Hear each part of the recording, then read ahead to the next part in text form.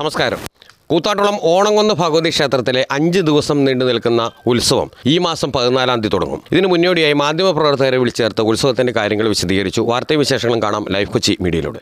ബഹുമാന്യരെ കൂത്താട്ടുകുളത്തെ അതിപ്രശസ്തവും പുരാതനവുമായ ക്ഷേത്രങ്ങളിലൊന്നായ ഓണംകുന്ന് ഭഗവതി ക്ഷേത്രത്തിന്റെ തിരു ഉത്സവ ചടങ്ങുകൾ രണ്ടായിരത്തി ഇരുപത്തിനാല് ഫെബ്രുവരി പതിമൂന്നാം തീയതി വൈകിട്ട് ക്ഷേത്രം തന്ത്രി ബ്രഹ്മശ്രീ മനയത്താറ്റില്ലത്ത് ചന്ദ്രശേഖരൻ നമ്പൂതിരി അവറുകളുടെ മുഖ്യ കാർമ്മികത്വത്തിൽ ആരംഭിക്കുന്ന ശുദ്ധിക്രിയാ ചടങ്ങുകളോടുകൂടി ആരംഭിക്കുകയാണ്. പതിനാലാം തീയതി അതീവ ദർശന പ്രാധാന്യമുള്ള കലശാഭിഷേക ചടങ്ങുകൾ രാവിലെ തന്ത്രിമുഖ്യന്റെ മേൽനോട്ടത്തിൽ മുഖ്യ കാർമ്മികത്വത്തിൽ ക്ഷേത്രത്തിന്റെ മേൽശാന്തിമാരായ ശ്രീ ബിജു നാരായണൻ നമ്പൂതിരി ശ്രീ രാജൻ നമ്പൂതിരി ശ്രീ ശ്രീകാന്ത് നമ്പൂതിരി എന്നിവരുടെ എല്ലാം ചുമതലയിൽ ക്ഷേത്രത്തിൽ നടത്തപ്പെടുകയാണ്.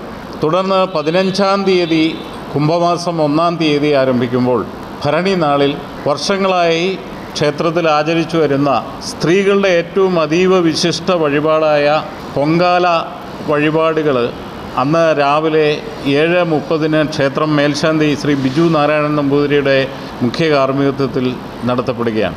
തുടർന്ന് പതിനാറാം തീയതി കാർത്തിക നാൾ കാർത്തിക നാൾ ഭഗവതിയെ സംബന്ധിച്ച് ഭഗവതിയുടെ പുറന്നാൾ ദിനമായി ക്ഷേത്രത്തിൽ ആചരിക്കുന്നതാണ്.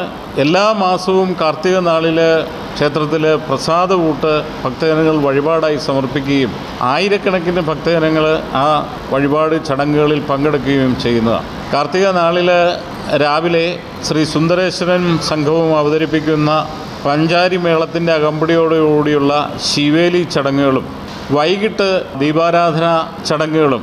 അതിനോടനുബന്ധിച്ച് മൂവാറ്റുഴ ജയകുമാർ ആൻഡ് സംഘവും അവതരിപ്പിക്കുന്ന നാദസ്വരം സേവ എല്ലാം ഉണ്ടായിരിക്കുന്നതാണ് അതുപോലെ തന്നെ അന്ന് രാത്രിയിൽ ദീപാരാധനയ്ക്ക് ശേഷം രാത്രിയിൽ ശ്രീ തിരുമറയൂർ വിജയന്മാരാരും സംഘവും അവതരിപ്പിക്കുന്ന മുടിയേറ്റുന്ന ക്ഷേത്ര കലാചടങ്ങ് ക്ഷേത്രത്തിൽ വെച്ച് നടത്തുകയാണ്.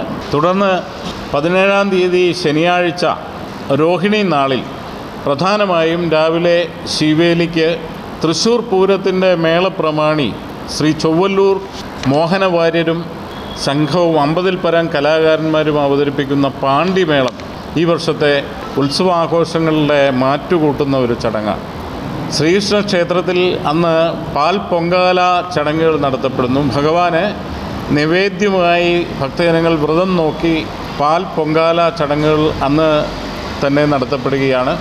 തുടർന്ന് രോഹിണി നാളിൽ വൈകിട്ട് ആചാരപരമായി ഏറെ പ്രശസ്തമായ കൂത്താട്ടുകുളം മഹാദേവ ക്ഷേത്രത്തിൽ നിന്നും ഓണംകുന്ന് ഭഗവതി ക്ഷേത്രത്തിലേക്കുള്ള താലപ്പൊലി ഘോഷയാത്ര നടത്തപ്പെടുകയാണ്. കുത്താട്ടുള്ള ഓണകുന്ന് ഭഗവതി ക്ഷേത്രത്തിൽ അഞ്ച് ദിവസം നീണ്ടു നിൽക്കുന്ന ഇത്തവണത്തെ ഉത്സവം പൊടിപിടിക്കട്ടെ. ലൈവ് കൊച്ചി മീഡിയയുടെ ആശംസകളും പിന്തുണകളും.